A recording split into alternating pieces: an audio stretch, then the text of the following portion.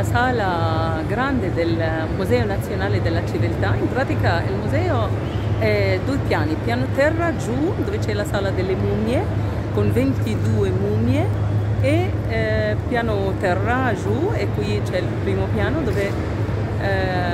hanno messo proprio di tutti i periodi storici statue, piatte, vasi, eh, stoffe, tappeti,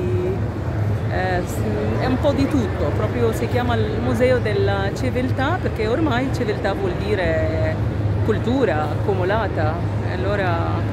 è un po' strano per me, essendo una guida che più di 25 anni che ci vado al museo egizio, eh, ho gli occhi abituati a,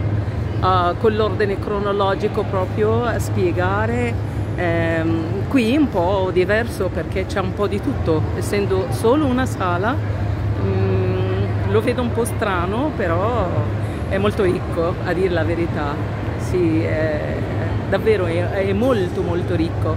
Uno qui può parlare di tutti i periodi storici eh, della nostra civiltà, della nostra storia egizia, che è la più ricca in tutta la storia umana, no? Eh, ecco mi sembra mi sembra tutto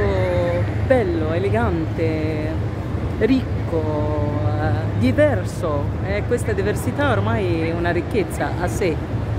Eh, così eh, troviamo una statua, poi una colonna e magari accanto troviamo delle monete, eh, gioielli, eh, barche,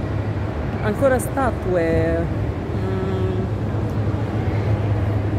finestrine dal periodo islamico, poi magari la roccia come, come, la,